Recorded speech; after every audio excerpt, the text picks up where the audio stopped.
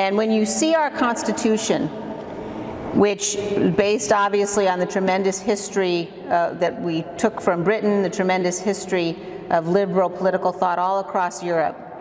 When you see the Constitution, the first three words in that founding document of ours are the largest words. They are the very largest words in the document. And those are the words, we the people. And those are the largest words because they are so fundamentally important.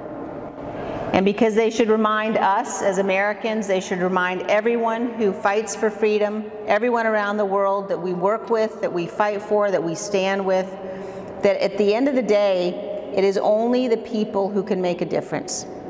Margaret Thatcher said that the forces of freedom can never be trampled, can never be extinguished by the tanks of tyranny.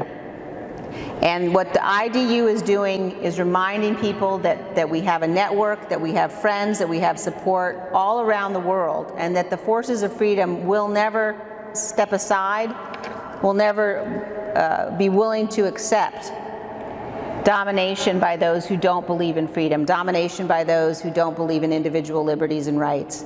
And I can tell you as an American, I can tell you as a member of our House of Representatives, how proud I am to be able to be part of thanking you for what you do.